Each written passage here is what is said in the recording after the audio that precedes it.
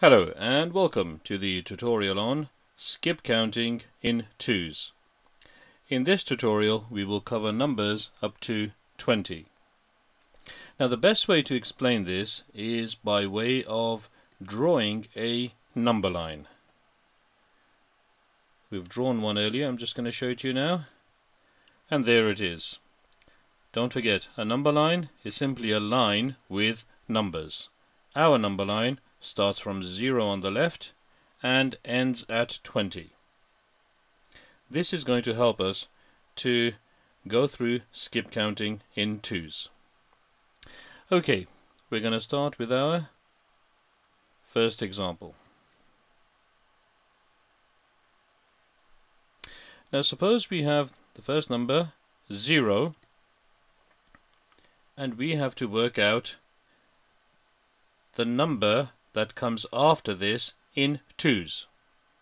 So the number after 0 in twos. So firstly, let's find 0 on the number line. It's over here on the left hand side. We've got 0.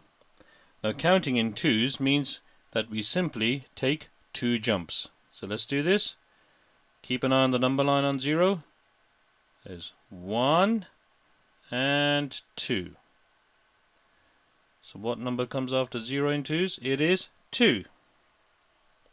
We took two jumps, and I'll just label that there. We got one, two jumps. So we started at 0 and we ended at 2. And it really is that simple. Okay, let's have a look at our second example.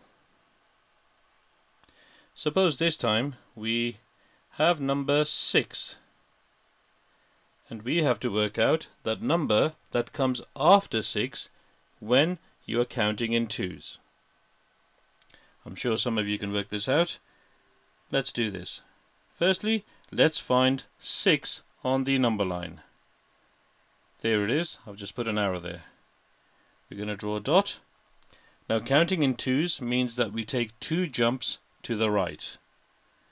Here we go. That's one jump, and that's the second jump. One, two jumps. What number do we end on?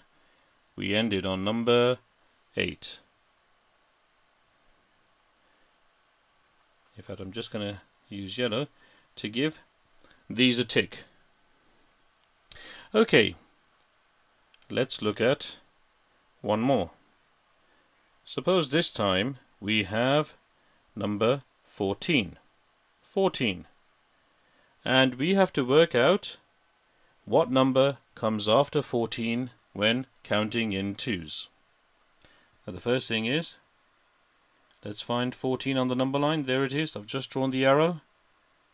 Let's put a circle there.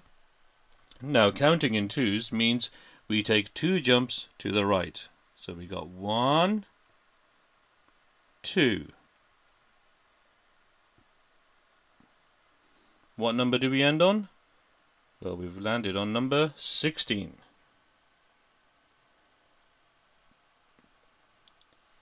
And that one is correct. And that is how we do skip counting in twos with numbers up to 20. Once you master the number line, you'll be able to do this just simply with mental arithmetic, just counting in your head. So have a practice with a few numbers, skip counting in twos.